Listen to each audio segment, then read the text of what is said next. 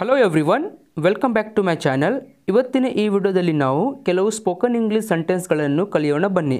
ವಿಡಿಯೋವನ್ನು ಕಂಪ್ಲೀಟ್ಲಿ ನೋಡಿ ಮತ್ತು ನಮ್ಮ ಚಾನಲ್ ಮೇಲೆ ಹೊಸವರಾದರೆ ತಪ್ಪದೇ ಸಬ್ಸ್ಕ್ರೈಬ್ ಆಗಿ ಮತ್ತು ಬೆಲ್ ಐಕನನ್ನು ಆನ್ ಮಾಡಿಕೊಳ್ಳಿ. ಇದೇ ಥರದ ವಿಡಿಯೋ ನಿಮಗೆ ಕಂಟಿನ್ಯೂಸ್ಲಿ ಈ ಚಾನಲ್ ಮೇಲೆ ಸಿಗ್ತಾ ಇರುತ್ತದೆ. ಫಸ್ಟ್ ಸೆಂಟೆನ್ಸ್ ಈ ರೀತಿಯಾಗಿದೆ. ನಾಳೆ ನನಗೆ ನೆನಪಿಸು.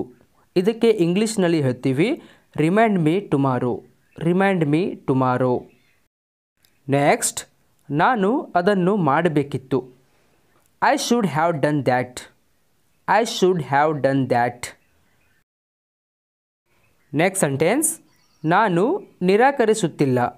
ಈ ವಾಕ್ಯಗೆ ಇಂಗ್ಲೀಷ್ನಲ್ಲಿ ಹೇಳಬೇಕು I am not refusing I am not refusing ನಾನು ಅವನಿಗೆ ಸಹಾಯ ಮಾಡಬೇಕಿತ್ತು. I should have helped him I should have helped him next ಇದು ಅವರ ಮನೆ. ಸಾಮಾನ್ಯವಾಗಿ ಹೇಳ್ತೇವೆ, ಇದು ಅವ್ರದ್ದು ಮನೆ ಅಂತ. ಈ ವಾಕ್ಯಕ್ಕೆ ಇಂಗ್ಲೀಷ್ನಲ್ಲಿ ಈ ರೀತಿಯಾಗಿ ಹೇಳಬೇಕು. This is their house this is their house next ನಾನು ಅವಳಿಗೆ ಹೇಳಬೇಕಿತ್ತು. I should have told her I should have told her ನಾನು ಅವನ ಜೊತೆ ಹೋಗಬೇಕಿತ್ತು. I should have gone with him I should have gone with him next ಇವತ್ತು ಮಳೆ ಬರಬಹುದು ಅಥವಾ ಇವತ್ತು ಮಳೆ ಯಾಗಬಹುದು ಅಂತ ಹೇಳ್ತೀವಿ. ಈ ವಾಕ್ಯಗೆ ಇಂಗ್ಲೀಷ್ನಲ್ಲಿ it might rain today it might rain today ಅಂತ ಹೇಳಬೇಕು. ನೆಕ್ಸ್ಟ್ ನಾನು ನಿಮ್ಮ ಸಲಹೆಯನ್ನು ಕೇಳಬೇಕಿತ್ತು. I should have listen to your advice I should have listen to your advice next ಹೊರಗಡೆ ತುಂಬ ಜೋರಾಗಿ ಗಾಳಿ ಬೀಸ್ತಾ ಇದೆ.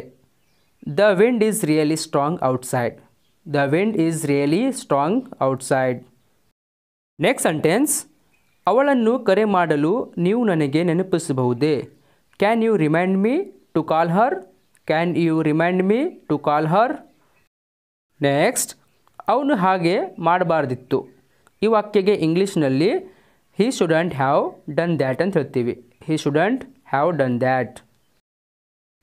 Next sentence ನಿಮಗೆ ಇನ್ನೂ ಎಷ್ಟು ಬೇಕು how much else do you want how much else do you want next sentence ನೀವು ಮಾರುಕಟ್ಟೆಗೆ ಹೋಗುತ್ತೀರಾ do you go to market do you go to market Hey guys, I hope you enjoy this video. If you like this video, please subscribe to the channel and press the bell icon.